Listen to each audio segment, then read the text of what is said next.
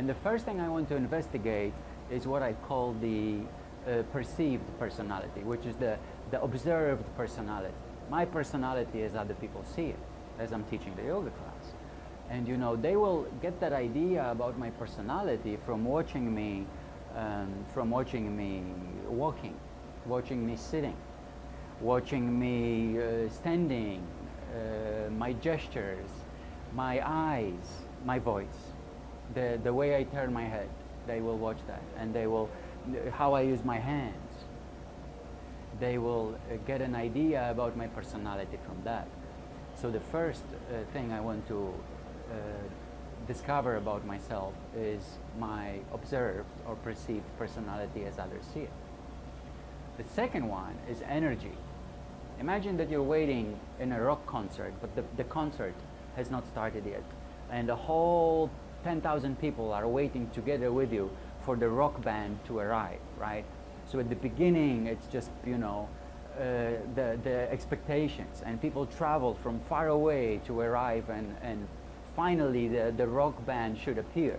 So the whole place is pumping, and the people are like, let's say the band is U2, okay, uh, one of my favorites. U2, U2, you bow, no, bow, no, U2. And finally the U2 appears. Now, the way that you two are going to make an entrance on a stage, you know, with this kind of uh, atmosphere, with this kind of vibration, that's the energy that they have to have to present upon entering the stage. The energy of the teacher that I promote is energy of being aware and relaxed at the same time. Relaxed but aware.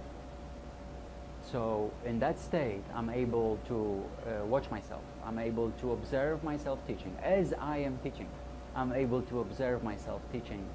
And I am able to monitor my energy. And I'm able to make adjustments as I observe adjusting the material that I teach, the what I teach, and how I teach, I can be adjusting, as well as I'm able to adjust based on the feedback that I am every second of my yoga class receiving from the students. Right? So that state of being relaxed and aware allows me to adjust the material and adjust myself teaching that material based on the present moment observation of what is happening right in front of me when I teach the class. Now, I don't, it's important to say that I don't want to observe myself too much, okay? If I'm looking at myself too much when I'm teaching, I will get quite stiff and quite um, perhaps uh, too stiff and not relaxed. So keeping myself relaxed and keeping that observation and balance is the important thing. And that's something you can practice as you teach the yoga class. I'm hoping to achieve a kind of uh, self, a kind of myself that is relaxed and aware or attentive, that is uplifting, that is energizing, but at the same time calm. So you could say it's calm and passionate, right? There has to be the passion of teaching that has to come out, but also it needs to be done very often in a calm, um, relaxed, assertive, strong, but also flexible kind of way. I would like to promote the part of me, the self as I am that is kind, compassionate, and loving.